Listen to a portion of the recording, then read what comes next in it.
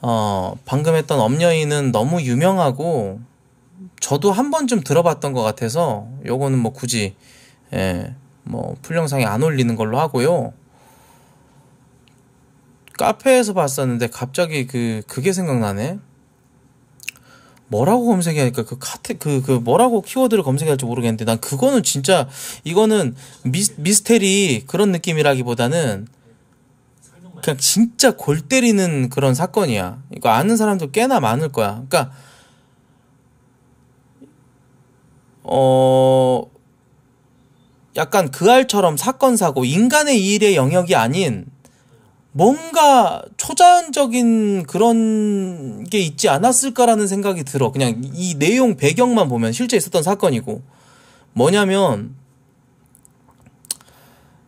그러니까, 4인 가족, 아빠, 엄마, 딸, 아들, 이렇게 있는데, 허, 이게 진짜 무슨 곡성에서 귀신 들리면은, 이 사람이 미쳐가지고, 뭐, 가족, 뭐 엄, 부모 자식 이런 거 못 알아보고 막 이렇게 막 죽이고 그러잖아. 어. 이런 것처럼 어 실제로 그런 사건이 있어. 아파트였던 것 같은데 내가 기억하기는 그 사건이 어 그러니까 하루 아침에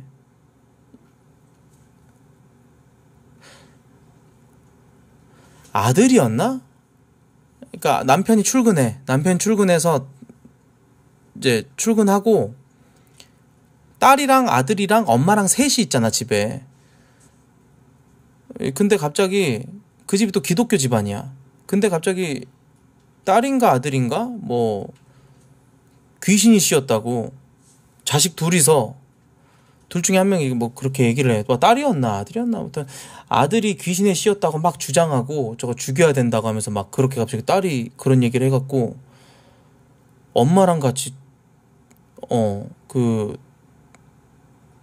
맞아. 강아지도 죽였던 것 같은데 시흥 딸 살인 사건 시흥이라고 치기면 어 악귀 살인 사건 맞아 맞아 그거 맞는 것 같아 악귀 악귀라고 치면 나올 것 같은데 어, 기괴하고 소름 끼치는 시흥 악기 살인 사건. 맞아. 나 이때 방송 쉬고 있을 때였고, 요때 이제 올라왔던 그냥 그 카페 이제 그런 그 이슈글 보다가, 이거 내 새벽에 봤거든. 근데 그 상상하니까 이게 너무 무섭더라고. 별거 아닐 수도 있어. 근데 너무 말도 안 돼. 이게 그 여러 이제 뭐 미스테리 뭐 여러 사건 사고들이 막 있지만 이건 인간의 일의 영역 같은 느낌이 확실히 있는데 방금도 엄여인 같은 경우는 사이코패스였고 그만 사발 풀고 내가 얘기해 줄게. 뭐냐면은 경찰 관계자가 이렇게 얘기를 해.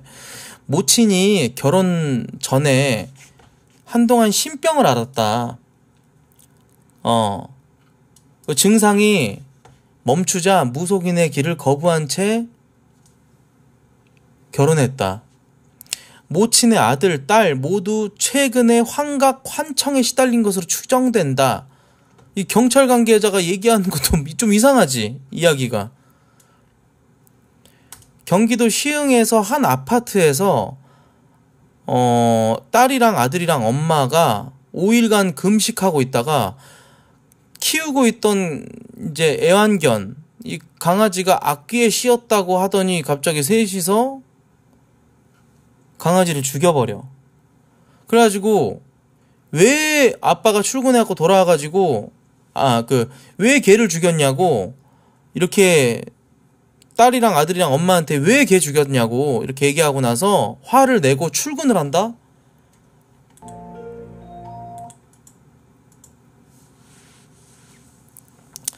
이게 2016년에 8월 19일 오전 6시 출근하려고 하던 아버지가 거실이 시끄러워갖고 방문을 열어왔다. 열고 나와보니 부인, 아들, 딸이 자신이 키우던 푸들이 심하게 짖는다는 이유로 악령이 씌었다며 반려견을 죽이려고 하고 있었다. 그 광경을 본 아버지가 화를 냈다. 어? 아니, 걔가 아무리 짖어도 그래도 그렇지 그 개를 갖다가 이렇게 죽이려고 한 게 말이 돼? 딸이 갑자기 무서운 눈빛으로 아버지한테 화를 냈고 출근 시간이 다가오니까 별다른 조치 없이 출근을 했어요. 20분이 지납니다. 오전 6시 20분 세 가족이 합심해서 반려견을 결국은 죽여요. 그리고 몸통이랑 머리를 분리해 가지고 머리를 양동이에 넣고 삶으려고 해. 이거 마치 무슨 Resident Evil Seven에 나오는 그런 미친 가족 그런 느낌 들어요. 약간 악령 씌인 그런 가족 같은 느낌?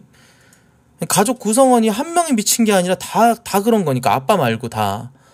그러니까 악기를 막으려는 행동이었다고 이제 그랬고 10분 정도 지난 후에 딸이 갑자기 손을 떨면서 자기 목을 조르더래. 딸이. 그래갖고 엄마가 말렸어. 그러니까 엄마 목을 졸라. 그러니까 엄마는 개에 붙었던 그 악령이 딸에게로 옮겨갔다고 소리를 쳐요. 어. 그래서 아들이 달려와서 엄마랑 딸을 뜯어놓고 동생, 딸, 동생을 엄마한테 떼갖고 화장실로 옮겨. 이후에 엄마는 아들한테 칼과 망치를 가져오라 그래. 그래가지고 칼을 수차례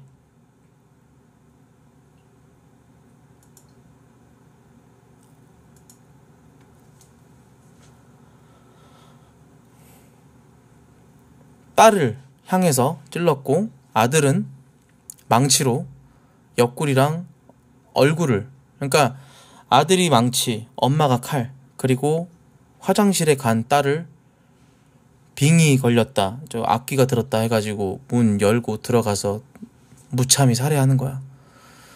그래서 딸이 죽었어. 계속해서 칼질하고 거기서 안 멈춘 거야. 죽었다는 거 뭐 인식 그런 것도 없이 그냥 그냥 광기 그 자체인 거지 그 상황이. 지금 이 글 내용만으로도 너무 잔인하잖아. 근데 거기서 더 나아가서 결국은 어 그 참수를 해 참수. 어.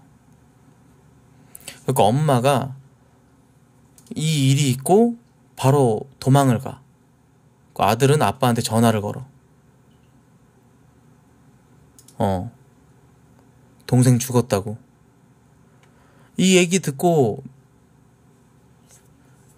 믿기지가 않은 아빠가 본인이 가는 대신 지인을 시켜서 회사에 있으니까 애가 뭐 뭔 소리 하는지 횡설수설 마, 말도 안 되는 소리 하니까 그래서 지인을 시켜갖고 집에 가보라고 했는데 지인은 집에 도착하고 나서 화장실 욕조에서 참수된 딸의 시체를 발견하고 경찰에 바로 신고를 해.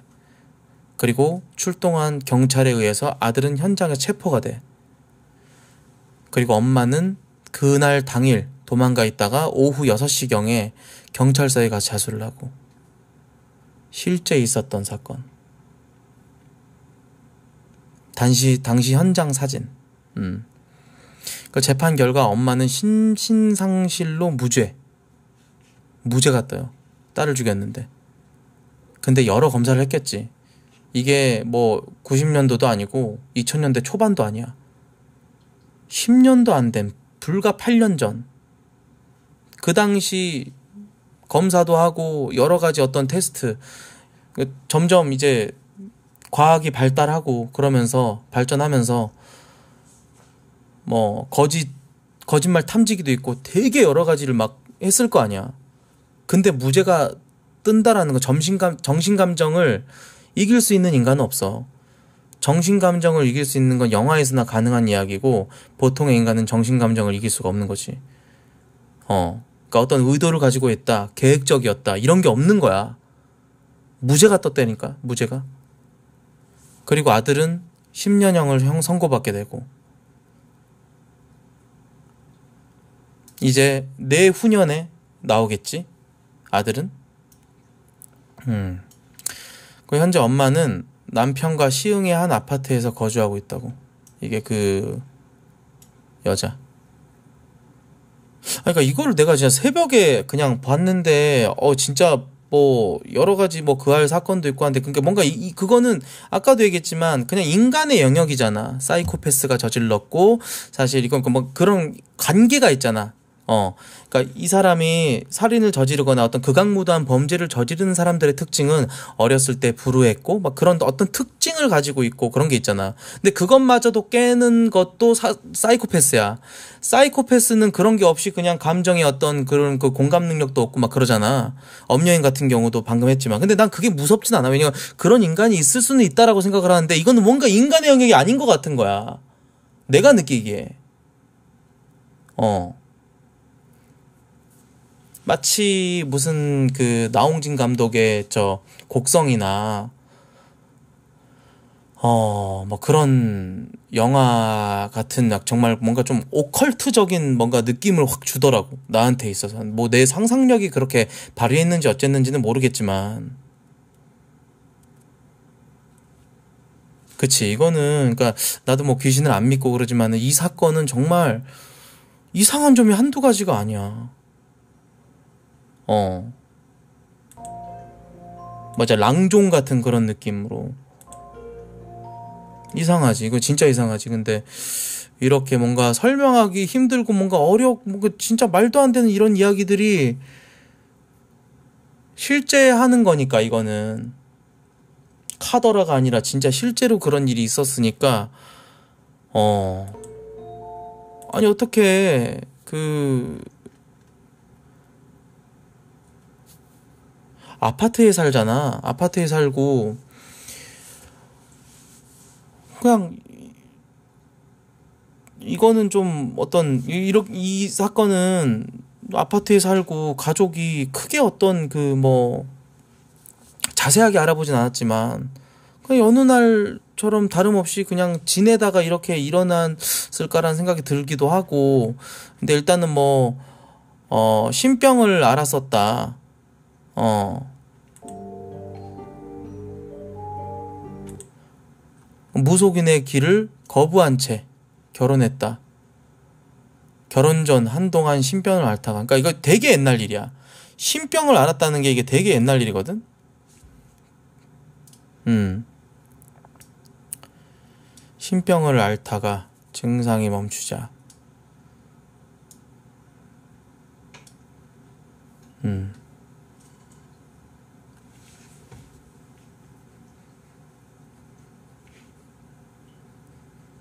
결혼이 어떻게 보면 비극이었던 거지.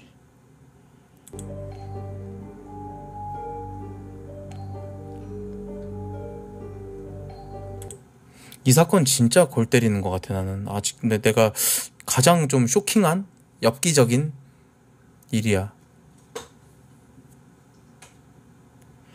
뭐 그 알 같은 거 다루다 보면은 뭐 돈이 쪼들려서 아니면 뭐 치정 관계 뭐 감정의 불화, 뭐 갈등 이런 것들이 다 배경이 되고 이런 그 서순이 있어서 그런 서순에 의해서 이렇게 됐다 그러면 좀 뭔가 이해가 되기도 하고 뭔가 인간 사는 사회에서 뭐 일어날 수 있는 일이라고 생각이 들어.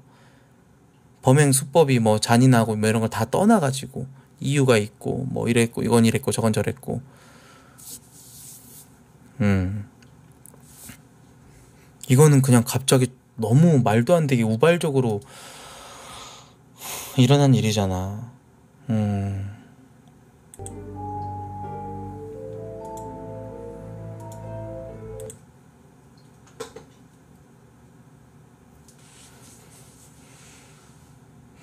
신병을 알았지만 증상이 없었고 그로 인해서 결혼도 하게 됐고 애도 잘 낳고 애들도 잘 키우고 있었고 그랬는데 뭐 여느 날처럼 별일 없이 그냥 똑같 그냥 평범한 어떤 가정집.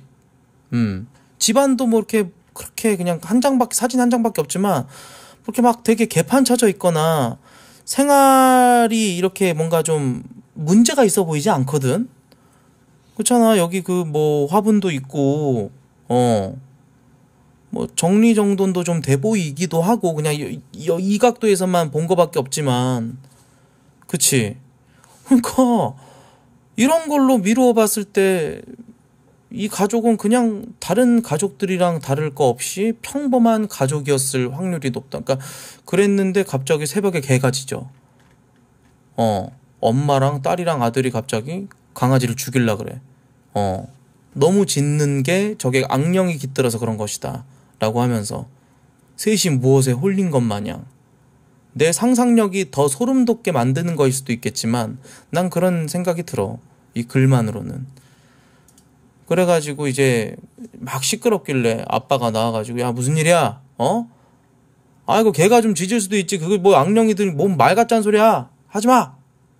나 출근해야 되니까 당신도 이제 애들 잘 보고 있고 왜 이래 진짜 하고 나갔어. 근데 그러고 나서 어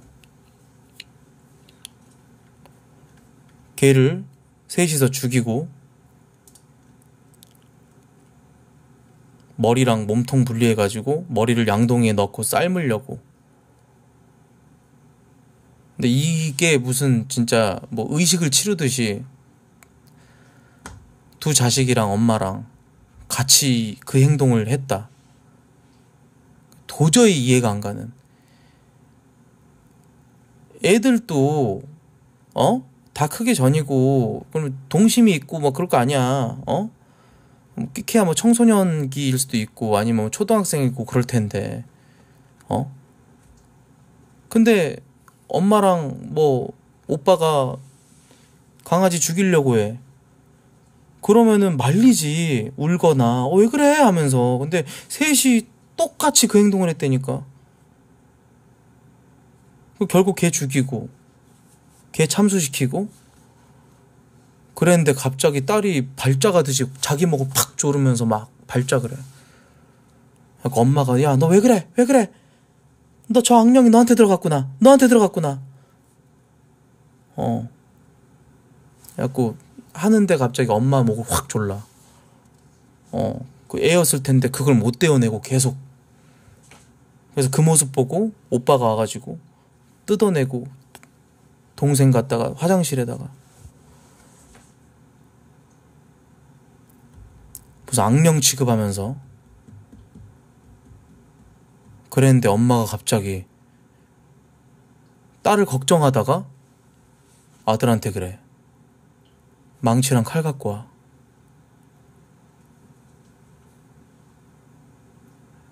그리고 둘이서 엄마는 칼을, 아들은 망치를. 약속이 난 것 마냥 문 열고 들어가서 그냥 이게 이게 그러니까 말이 안 된다는 거지. 말이 안 되는 일이야. 말이 안 되는 일. 수많은 뭐 해외 토픽 뭐 사건 사고 뭐 이런 거 다 봤지만 이거 진짜 정말 말이 안 된다는 거야. 음. 그래서 내가 많은 사건들 중에 이 시흥 2016년도 이 시흥 악령 사건, 악귀 사건은 악귀 살인 사건은 real 소름이 돋고 또 거기다가 이제 좀 뭔가 이게 좀 인간의 영역이 아닌 것 같은 그런 일이라는 거지. 어. 자세한 묘사 같은 게 좀 있거나 더 그랬으면 몰랐을 텐 모를 텐데, 야 진짜 곱씹어 볼수록 말 안 되지 않아? 여러분들 이상하지? 어?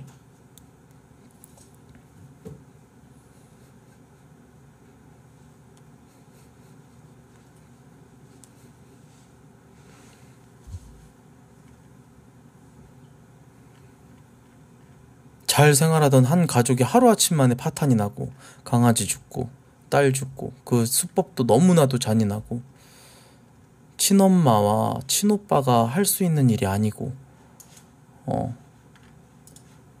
친딸이 할 수 있는 일도 아니고.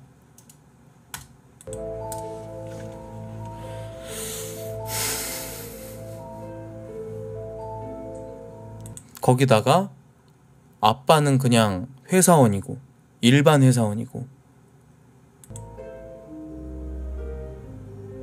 정신감정 그 빡센 정신감정 테스트를 하고 엄마는 무죄로 풀려나고. 그 엄마랑 계속 같이 살고 있는 부부. 내후년이면 아들이 나오고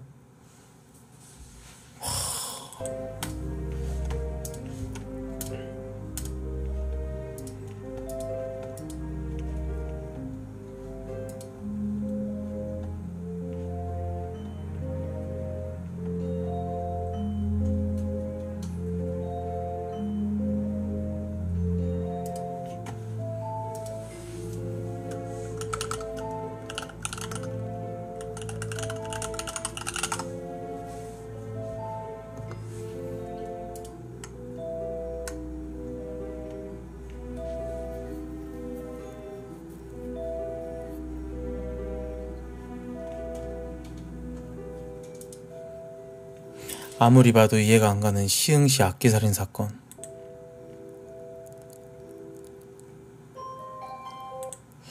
조금 더 자세하게 나온 내용인데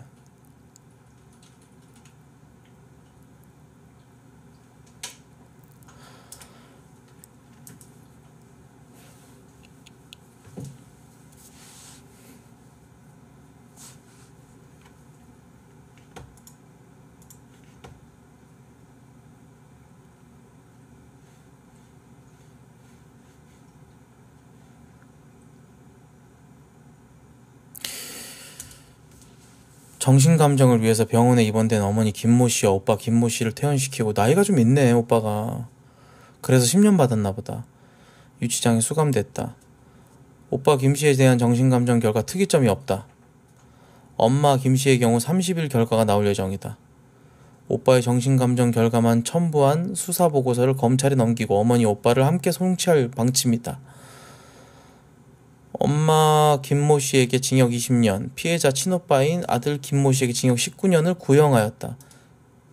구형이랑 선고는 다르잖아. 그래서 12월에 재판이 있었는데 증인으로 출석한 정신과 의사, 살인 전 어머니가 정신병에 걸렸다고 판단해 외가에 전화로 알린 점, 여동생에게 악기가 씌었다며 어머니가 칼과 망치를 가져오라고 했을 때 거부한 점 등 아들 김 씨는 범행 직전과 직후 행동의 의미를 알고서 행동했다고 분석을 했다.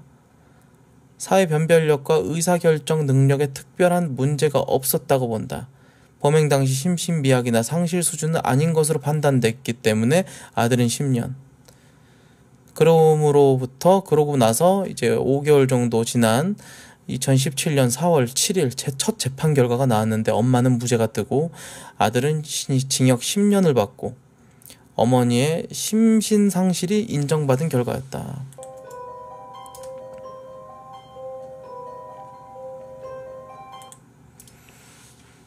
그래 내 기분이 그래서 처음에 아무리 다 제, 아무리 봐도 등장인물들 다 제정신이 아니고 곡성 보는 것 같다고 여호와의 증인.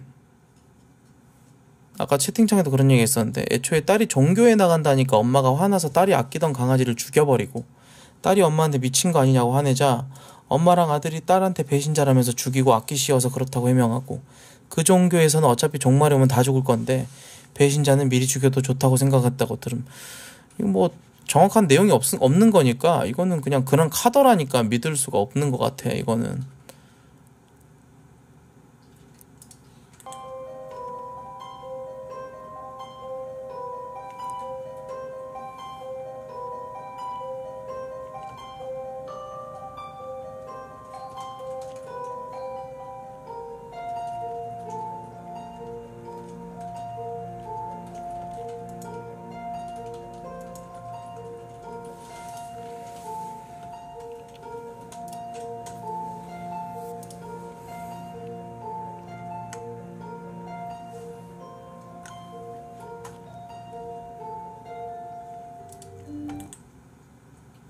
아 근데 진짜 여호와의 증인이라고 나온 것도 있네.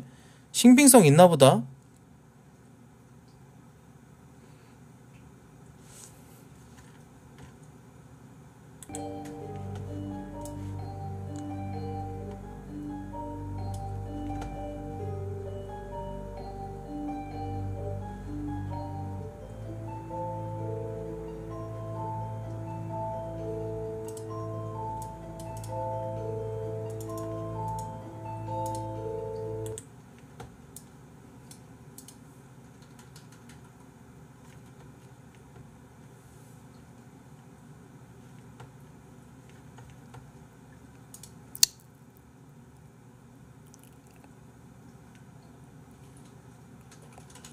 근데 이것도 카더라잖아.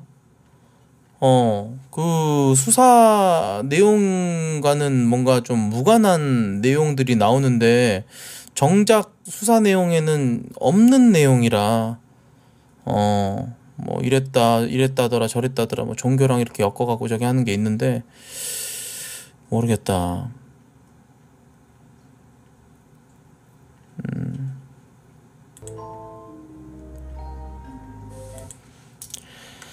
아, 어떻게 수사를 대충 해. 이런 사건이 있고 뉴스에 나올 일인데. 음.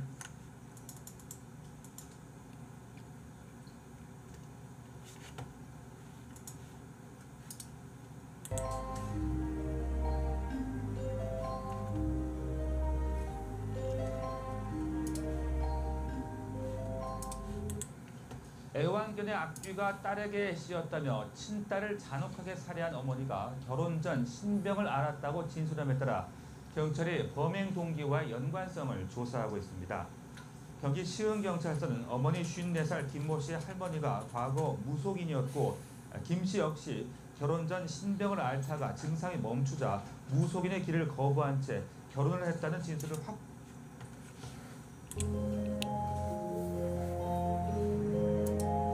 새벽 6시입니다. 시흥에 있는 한 아파트예요. 음.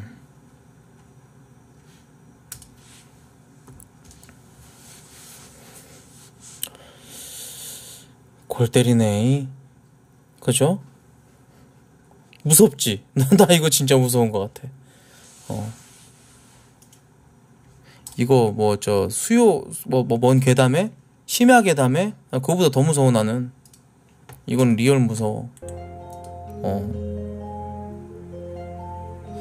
온갖 추측이 쏟아져 나오고 있는데 어쨌건 official은 이렇다라는 거야.